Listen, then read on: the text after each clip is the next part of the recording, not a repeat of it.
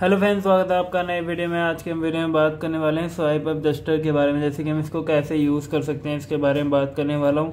तो चलिए friends, video को शुरू करते हैं। वीडियो को शुरू करने से पहले अगर आप चैनल पर नए हैं तो चैनल को सब्सक्राइब कर वीडियो को लाइक कर दीजिए। फ्रेंड जैसे कि आप देख सकते हैं, मेरे पास ये ओप्पो का फ़ोन है और आपको सबसे पहले क्या करना है, सेटिंग पर क्लिक करना है। तो क्लिक कर लेंगे फ्रेंड सेटिंग पर।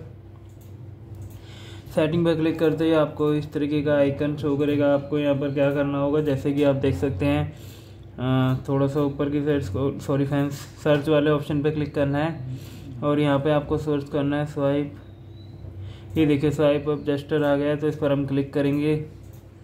क्लिक करने के बाद आपको यहाँ पर क्लिक करना है। क्लिक करने के बाद आप देख सकते हैं, ये जो मेरे बटन्स है नेविगेशन बटन से गायब हो गए हैं और ये इस तरीके से हम यूज़ कर सकते हैं, जैसे कि आप देख सकते हैं। ये देखिए, इस तरीके से हम यूज़ कर सकते हैं इसको। तो और इसको ऑफ़ करने के लिए क्या करना होगा? दोबारा सेटिंग पर जाएँगे सर्च वाले ऑप्शन पर जाएँगे और नेविगेशन सर्च करेंगे। ये देखिए नेविगेशन आ गया, इस पर हम क्लिक करेंगे। क्लिक करने के बाद आप इस पर क्लिक करेंगे। ये देखिए, ये साइड बार है। बटन्स पे क्लिक करेंगे और ये बटन्स आ गए हमारे, ये देखिए। और ये राइट साइड है और ये लेफ़्ट साइड है। जैसे कि इस पर क्लिक करेंगे तो लेफ़्ट साइड बटन हो जाएँगे और इस पर क्लिक करेंगे तो राइट साइड बटन हो जाएँगे। तो इस तरीके से हम इस सेटिंग को ऑफ़ कर सकते हैं। उम्मीद है फ्रेंड्स वीडियो पसंद आएगी। वीडियो पसंद आए तो चैनल को सब्सक्राइब कर वीडियो को लाइक कर दीजिए मिलते हैं नेक्स्ट वीडियो में, तब तक के लिए नमस्कार।